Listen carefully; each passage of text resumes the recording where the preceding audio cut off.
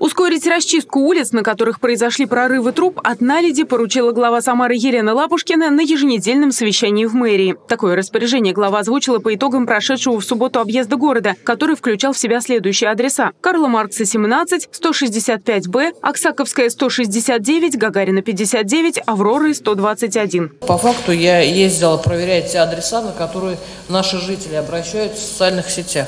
И действительно, то, что я увидела, вызывает не вопрос, а вызывают, откровенно говоря, возмущение. По дворовой территории абсолютное безобразие. Представитель ресурсоснабжающей компании рассказал, что из-за перепадов температур и отсутствия снега происходят постоянные порывы труб. Сейчас в работе находятся 72 адреса, и чтобы навести там порядок, ресурсоснабжающая организация планирует привлекать к работе подрядчиков. В настоящий момент времени у нас работают 12-16 бригад, работаем 24 на 7 с учетом выходных.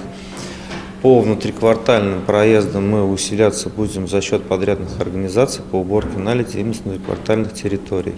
Представители ресурсоснабжающей организации уверили, что первоочередное внимание уделяется расчистке подходов к социально значимым объектам, таким как школы, больницы и детские сады. По результатам субботнего объезда проезд к 170-й школе на улице Авроры, неподалеку от сквера, уже расчищен. По остальным адресам работы ведутся. Говорили на совещании о выполнении плана по расселению жителей из ветхого и аварийного жилья. В 2022 году в Самаре планируется расселить 2758 человек. На сегодняшний день расселено 1413 человек. Остальные въедут в новые квартиры до конца года. Виктория Шары, Константин Головин. События.